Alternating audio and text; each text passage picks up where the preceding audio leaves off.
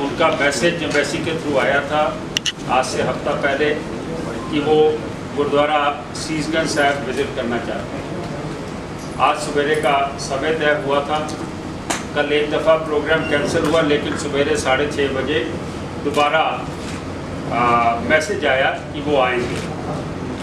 जहाँ वो गुरु तेग बहादुर के स्थान पे नतमस्तक होने के लिए आए, वहाँ पे गुरु का आशीर्वाद दिया।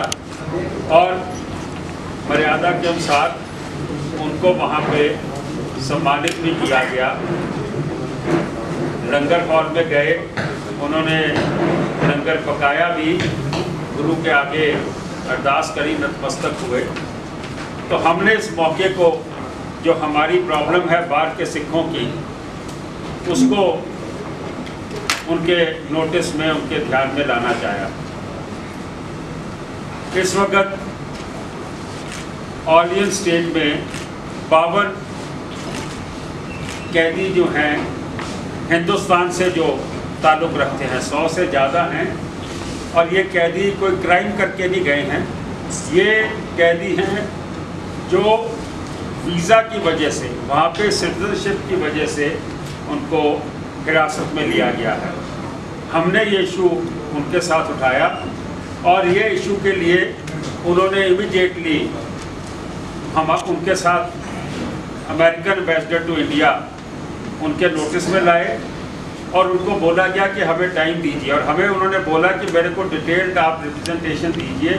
मैं अपने ऑफ़िस के थ्रू ज़रूर इन लोगों की मदद करूँगी जो मैं कर सकती हूँ। और इसके अलावा, क्योंकि ये बहुत बड़ा इशू था, इसके अलावा जो और वहाँ पे हमारी प्रॉब्लम्स हैं आइडेंटिटी को लेके या वहाँ पे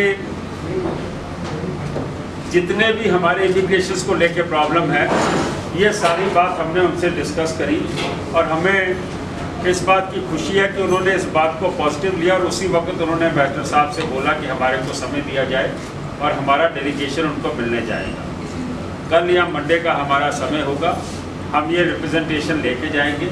ताकि जो भी वहाँ पे हिंदुस्तानी हैं, सिख हैं, पंजाबी हैं, या कोई भी और स्टेट के लोग वहाँ पे फंसे हुए हैं, उनको लीगल एड मिलना चाहिए। अमेरिकन कानून के हिसाब से जो उनका राइट है, वो राइट उनको मिलना चाहिए ताकि वो अपने केस को प्रेजेंट कर सके। और मैं समझता हूँ कि हेली जो है उसकी रूट्स हिंदुस्तान से है और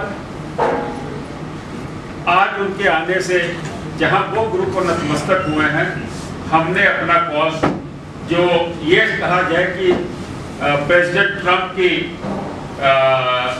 नोटिस में निक ज़रूर इस इशू को लेके आएगी और हम श्रीमती सुषमा स्वराज जी से भी अपॉइंटमेंट मांगी है हमने ताकि गवर्नमेंट भी गवर्नमेंट लेवल के ऊपर अमेरिका से इस इशू के ऊपर बात तो कौंसलर एक्सेस नहीं दिया जा रहा।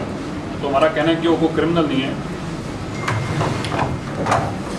वो क्रिमिनल नहीं है, इसलिए उनके साथ ऐसा बर्ताव ना किया जाए और उनको तो प्रॉपर उनको अपॉर्चुनिटी दी जाए अपना केस को टफ करने की।